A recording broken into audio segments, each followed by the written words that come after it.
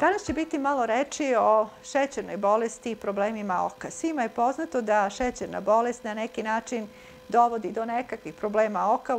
To su najčešće katarakta, takozvana metabolička katarakta i diabetična retinopatija, odnosno zamućenje i pad vida zbog dešavanja u staklastom telu i na mrežnjači.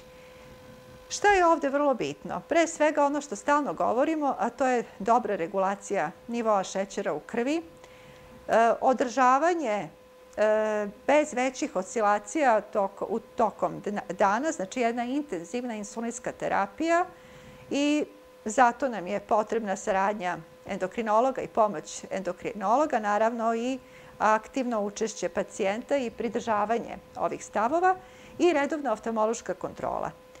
Šta je ovdje najveći problem i zabluda koja postoji na našem terenu? To je ostavljanje katarakte, znači čekanje da katarakta sazri, umjesto da se adekvatno operiše na vreme i da šansu da sagledamo situaciju na očnom dnu.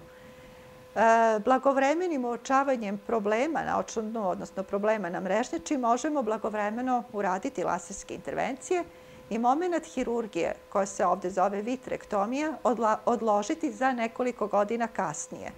Znači, imamo šansu da bolest dobro držimo pod kontrolom.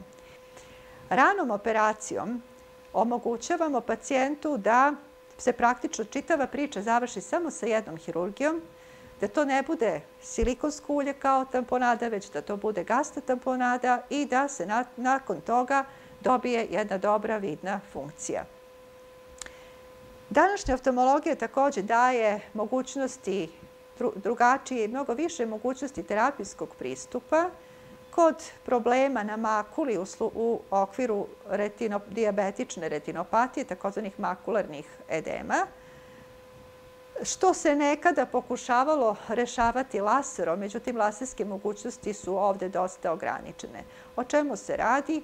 Radi se o intravitralnoj primjeni odgovarajućih lekova koji imaju zadatak da povuku otok e, makule, odnosno žute mrlje, ali istovremeno i da smanje proces takozvane neovaskularizacije, koja je zapravo nepoželjan moment u razvoju diabetične retinopatije i koja će se smatrati zapravo jednim malo zapuštenim, netretiranim, neadekvatno tretiranim stadijumom retinopatije e, u diabetesu. E, vrlo je važno shvatiti da se ovi problemi mogu rešavati na vreme. Ono što je bitno također jeste da su diagnostičke mogućnosti danas mnogo veće, da postoje savremeni aparati, to je takozvani optical coherence tomograf ili inače OCT skraćeno, koji daje mogućnost e, fantastičnog uvida u strukturu mrežnječe, konkretno makule, gde mi praktično dobijamo neku vrstu skoro histološkog preseka